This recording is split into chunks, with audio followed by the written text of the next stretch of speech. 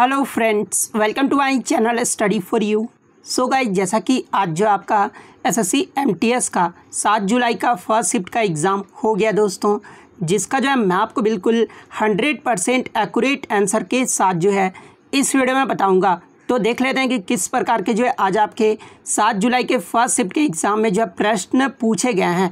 उससे पहले एक बात और दोस्तों कि जिन्होंने भी अगर चैनल को सब्सक्राइब नहीं किया है तो एसएससी एमटीएस से रिलेटेड पल पल की अपडेट के लिए जो है, चैनल को सब्सक्राइब ज़रूर कर दीजिएगा और बगल में ही आपको एक बेल आइकन यानी घंटे का निशान भी दिख रहा होगा तो आप उसे भी जो है ज़रूर प्रेस कर दीजिएगा। तो चलिए वीडियो को स्टार्ट करते हैं। तो आज का जो आपका पहला क्वेश्चन आया था कि भवाई, ये जो है किस राज्य का लोक नृत्य है? तो देखिए, ये जो आपका भवाई है ना, ये राजस्थान राज्य का लोक नृत्य है। तो राजस्थान आपका करेक्ट आंसर होगा। नेक्स्ट क्वेश्चन आपका यहाँ पर आया था total recall my unbelievably true life story पुस्तक ये जो है किसके द्वारा लिखी गई है? तो देखिए, ये जो पुस्तक है ना यह आपका आर्नोल्ड स्वर्ग गेनेगर के द्वारा और पीटर पेट्रे के द्वारा लिखा गया है। तो इन दोनों में से जो भी ऑप्शन में दिया होगा, वो आपका करेक्ट आंसर होगा।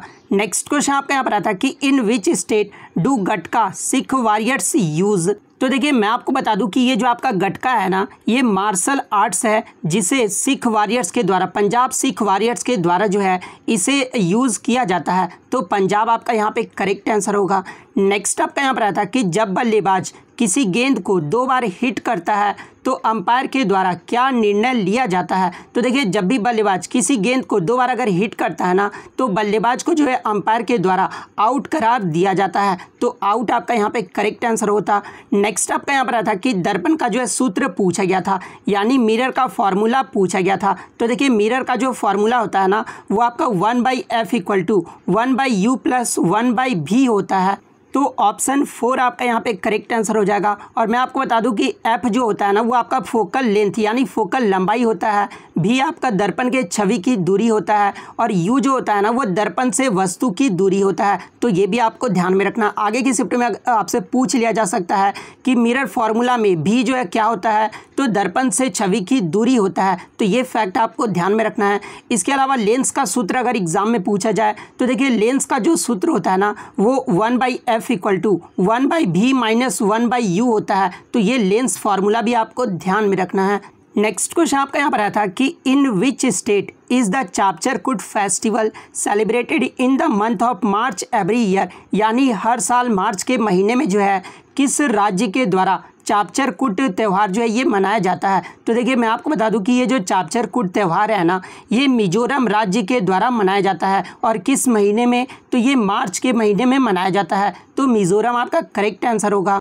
नेक्स्ट क्वेश्चन आपका यहाँ पर आता है कि which instrument is used to measure rainfall यानी वर्षा को मापने के लिए जो है किस उपकरण का उपयोग किया जाता है? तो देखिए, वर्षा को मापने के लिए जो है, ये आपका रेन गॉज यानी वर्षा मापी का जो है उपकरण का प्रयोग किया जाता है। तो रेन गॉज आपका करेक्ट आंसर होगा।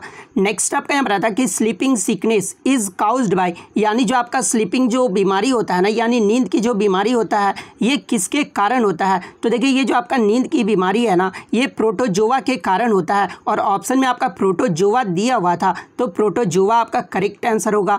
नेक्स्ट आपका यहाँ पर आता कि richest billionaires in the world 2022 यानी फोवर्स अरबपति 2022 दुनिया के सबसे अमीर लोग में जो है कौन सीट्स पर रहे हैं? तो देखिए, मैं आपको बता दूँ कि फोवर्स अरबपति 2022 के दुनिया में सबसे अमीर लोगों की सूची में जो सबसे पहले स्थान पर रहे हैं, ये आपके एलोन मस्क रहे हैं। तो एलोन मस्क आपका करेक्ट आंसर होगा। वहीं सेकंड स्थान की मैं बात कर लूँ तो सेकंड स्थान पे जो आपका जेफ बेजोस रहे हैं, और एलोन मस्क की मैं बात कर लूँ तो ये टेस्ला और स्पेस एक्स के संस्थापक। फोवर्स की सूची में पहली बार दो सॉरी दो सौ उन्नीस बिलियन डॉलर की संपत्ति के साथ जो है सीट्स पर रखा गया है। तो एलोन एलोन मस्क आपका करेक्ट आंसर होगा। वहीं अगर 2021 का पूछ लेना तो देखिए फोबर्स अरबपति 2021 में दुनिया के सबसे अमीर लोग में जो है, आपके जेफ बेजोस रहे थे। तो ये भी आपको ध्यान में रखना है। नेक्स्ट आपका यहाँ पर आता कि 2011 की जनगणना के अनुसार भारत का सबसे छोटा राज्य पूछा गया था। तो देखिए 2011 की जनगणना से आपके हर शिफ्ट में एक प्रश्न ज़रूर पूछा जा रहा है। तो देखिए 2011 की जो जनगणना हुई थी, इसमें भारत का जो सबसे छोटा राज्य रहा था यह आपका गोवा राज्य रहा था, वहीं क्षेत्रफल की दृष्टि से सबसे बड़ा जो राज्य रहा था यह आपका राजस्थान राज्य रहा था। तो गोवा आपका करेक्ट आंसर होगा। नेक्स्ट आपका यहाँ पर आता कि तेंदुलकर समिति। ये जो है किससे संबंधित है? तो देखिए, तेंदुलकर समिति जो है, ये आपका निर्धन सॉरी निर्धनता रेखा के आकलन हेतु से संबंधित है। तो निर्धनता रेखा आपका करेक्ट आंसर हो। या फिर क्वेश्चन ये पूछा गया था कि तेंदुलकर समिति की जो नियुक्ति है ना, ये किसके लिए किया गया था? तो देखिए, मैं आपको बता दूँ कि तेंदुलकर समिति का जो नियुक्ति है ना, ये गरीबों का अनुमान के लिए किया गया था। तो फिर गरीबों का अनुमान आपका करेक्ट आंसर होगा। और मैं आपको इसके इंपॉर्टेंट फैक्ट्स ये बता दूँ कि Pandit sorry pro Suresh D Tendulkar की अध्यक्षता में इस निर्यात समूह का गठन जो है 2005 में किया गया था। तो ये भी आपको ध्यान में रखना है। और यहाँ से एक प्रश्न और बनता है कि तेंदुलकर समिति ने अपना रिपोर्ट जो है कब प्रस्तुत किया था? तो देखिए, तेंदुलकर समिति ने जो है दो हज़ार नौ में अपनी रिपोर्ट को जो है प्रस्तुत किया था। तो ये फैक्ट भी आपको ध्यान में रखना है। इसके अलावा अन्य समिति के बारे में जान लीजिए, जहाँ से आगे के शिफ्टों में आपसे पूछे जा सकते हैं। जैसे कि पीके मोहंती समिति का गठन, ये जो है किसके लिए किया गया था नियुक्ति? तो देखिए, पीके मोहंती समिति का जो गठन है ना, ये भारतीय निजी क्षेत्र के बैंकों के लिए वर्तमान स्वामित्व दिशा निर्देश और कॉपरेट संरचना की समीक्षा करने के लिए जो है इसकी नियुक्ति की गई थी। वहीं आबिद हुसैन समिति का गठन अगर पूछा जाए कि इसकी नियुक्ति किसके लिए किया गया था तो ये लघु उद्योग और व्यापार नीति सुधार के लिए किया गया था। चक्रवर्ती समिति का पूछा जाए तो ये आपका मौद्रिक नीति के लिए किया गया था। नरसिम्हा समिति की बात कर ले तो ये आपका बैंकिंग सुधार के लिए किया गया था। भगवती समिति का बात कर ले तो बेरोजगारी और लोक कल्याण के लिए किया गया था। शिवराज समिति का अगर पूछा जाए तो ये आपका कृषि नीति के लिए किया गया था।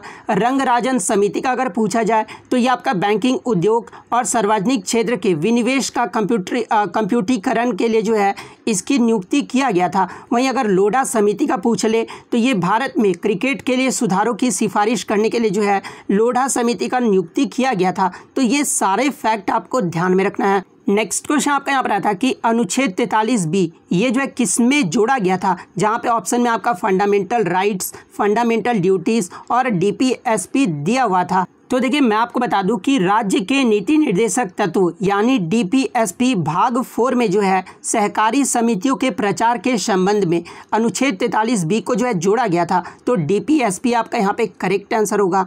नेक्स्ट आपका यहाँ पर था कि बक्सर का युद्ध, ये जो है कब और किन के मध्य लड़ा गया था। तो देखिए, मैं आपको बता दूँ कि बक्सर का जो युद्ध है ना, ये आपका बाईस अक्टूबर सत्रह को बक्सर की ब्रिटिश ईस्ट इंडिया कंपनी और मुगल सम्राट शाह आलम द्वितीय अवध के नवाब नवाब सिराजुद्दौला और बंगाल के नवाब मीर जाफ़र की संयुक्त सेना के बीच जो है, ये युद्ध लड़ा गया था। और बक्सर के युद्ध का परिणाम क्या हुआ था? तो देखिए, ब्रिटिश ईस्ट इंडिया कंपनी ने जो है, बक्सर की लड़ाई जीती थी और शाह आलम द्वितीय और सिराजुद्दौला ने जो है, कंपनी के सामने आत्मसमर्पण कर दिया था। तो ये फैक्ट भी आपको ध्यान में रखना है। इसके अलावा आपका पलासी का युद्ध भी पूछा गया था। तो देखिए, पलासी का जो युद्ध है ना, ये आपका तेईस जून सत्रह को मुर्शिदाबाद के दक्षिण नदिया ज़िले में गंगा नदी के तट पर जो है प्लासी नामक स्थान पर जो है ये युद्ध लड़ा गया था। और ये जो युद्ध है, ये किनके मध्य लड़ा गया था? तो देखिए, एक तरफ़ ब्रिटिश ईस्ट इंडिया कंपनी की सेना थी और दूसरी तरफ़ बंगाल के नवाब सिराजुद्दौला का सेना था। वहीं अगर बात कर ले प्लासी के युद्ध में, ब्रिटिश सेना का नेतृत्व किसने किया था? तो ये रॉबर्ट क्लाइव कर रहे थे। और दूसरी ओर सिराजुद्दौला की सेना का जो नेतृत्व है ना, ये तीन सेनापतियों ने किया था। मीर जाफ़र, यार लतीफ़ खान और रैदुर लफ ने किया था। तो ये फैक्ट भी आपको ध्यान में रखना है और आपको कमेंट करके जवाब देना है कि पलासी का युद्ध, ये जो है किसने जीता था? ये जो आपको कमेंट करके ज़रूर जवाब देना है। नेक्स्ट आपका यहाँ पर आता है कि भोजन का अवशोषण, ये जो है किस आंत में होता है? तो देखिए, भोजन का जो अवशोषण है ना, ये आपका स्मॉल इंटेस्टाइन यानी छोटी आंत में होता है। नेक्स्ट आपका यहाँ पर आता कि रेड लाइट ऑन बोर्ड अभियान, ये जो है किस राज्य के द्वारा लागू किया गया है? तो देखिए, ये जो आपका रेड लाइट ऑन बोर्ड अभियान है ना, ये आपका दिल्ली राज्य के द्वारा लागू किया गया है। तो दिल्ली आपका करेक्ट आंसर होगा। नेक्स्ट क्वेश्चन आपका यहाँ पर था कि हरिप्रसाद चौरसिया, ये जो है किस वाद्य यंत्र से संबंधित है? तो देखिए, हरिप्रसाद चौरसिया का जो संबंध है ना, ये बांसुरी वादक से है। तो बांसुरी वादक आपका करेक्ट आंसर होगा। बात कर ले अन्य फ़ेमस पर्सनैलिटीज़ के बारे में, जो कि बांसुरी वादक से संबंधित है। जैसे कि शशांक सुब्रमण्यम, राकेश चौरसिया, एन रमानी, रोनू मजुमदार, पन्नालाल घोष, परवीन कांड खिंडी, रघुनाथ सेठ। इन सबों का जो संबंध है ना, ये वासुरी वाद यंत्र से है। यहाँ से सी एच एस एल में पूछा गया था कि पन्नालाल घोष का जो संबंध है, ये किससे है? तो ये बाँसुरी वादक से है।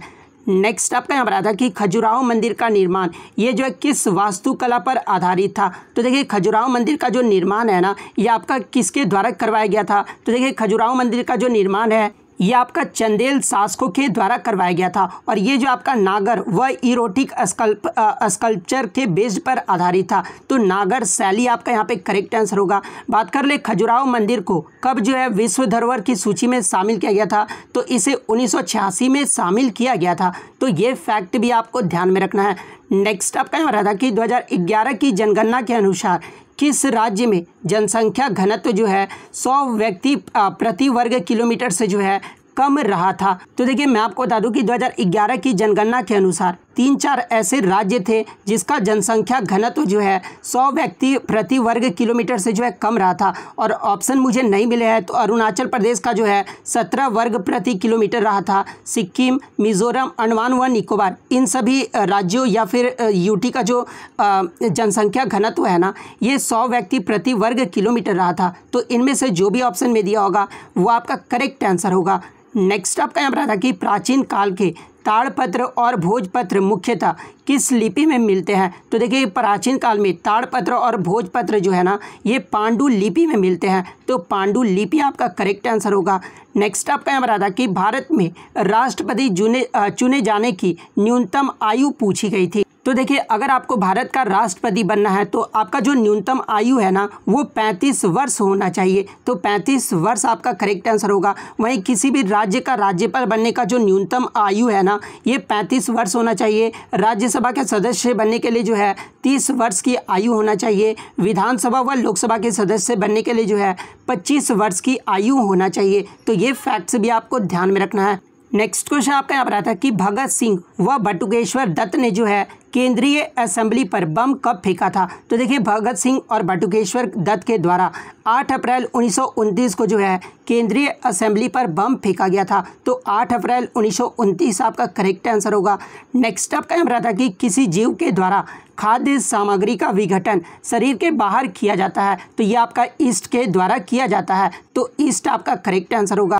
एक क्वेश्चन आपका यहाँ पर आया था कि 2022-23 के बजट में कितने लोगों को जो है आपका जॉब्स देने का लक्ष्य रखा गया है? जहाँ पे ऑप्शन में आपका 40 लाख 20 लाख ऐसे ऑप्शन दिया हुआ था। तो देखिए, मैं आपको बता दूँ कि 2022-23 के बजट में 20 लाख लोगों को जो है जॉब्स देने का जो है लक्ष्य रखा गया है। तो 20 लाख आपका यहाँ पे करेक्ट आंसर होगा। तो इतने क्वेश्चन जो है, आज मुझे बच्चों के द्वारा मिले हैं, जो कि हंड्रेड रियल और ऑथेंटिक है। तो अगर वीडियो अच्छी लगी हो तो वीडियो को जो है लाइक ज़रूर कर दीजिएगा।